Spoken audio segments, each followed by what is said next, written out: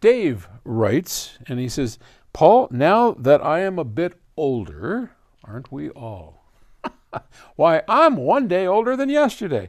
I have more budget to upgrade my hi fi system. In addition to quality speakers and electronics, the quality of the music files also determines the overall listening experience. Yes, that's, that is true. On your website, I came across systems that support sample rates of 96 kilohertz, 192 kilohertz, 352 kilohertz, or even higher. DSD, 11 megahertz for quad rate. Yeah, I mean, crazy, right? The frequency response in most speakers is limited well below that. So, to what extent can a speaker coil physically handle these sampling frequencies? And is there a difference in listening quality between these frequencies? Let's break that down into two parts. First off, Dave, I think there's a little bit of a misunderstanding. When we talk about sample rates of uh, 192 kilohertz, uh, for that matter, CD quality of 44,000 kilohertz or hertz, which 44.1 kilohertz, those are all well beyond the ability of the humans, uh, we humans, to hear, and certainly beyond the ability of most loudspeakers to reproduce them. And that's okay because those sampling frequencies are never going through the speakers.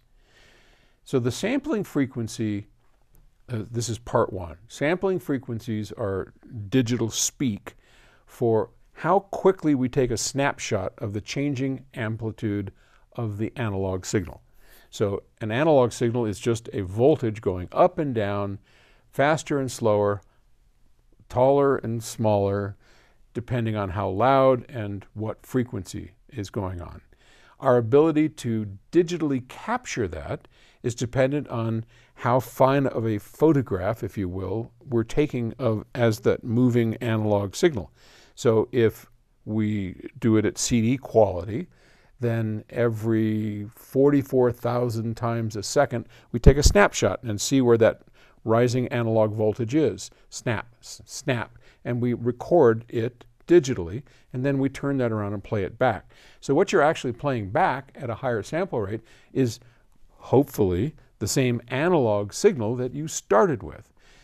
So high sample rates have everything to do with how we capture the sound, how accurate that capture is, and then what we do with it afterwards to convert it back to analog. But it has nothing to do with trying to pass those high frequencies through the speakers. Okay? Does that make sense? The second part of the question do higher sample rates sound better? Much depends on the quality of your system.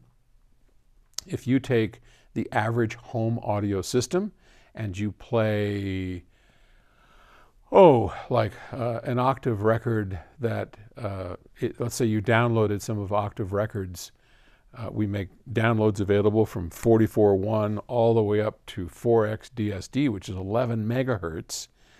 You can take the same song and listen to the two on your system. Well, the average home system, you might hear a little bit of difference. On this system, you'll hear a lot of difference. Much depends on how resolving your system is.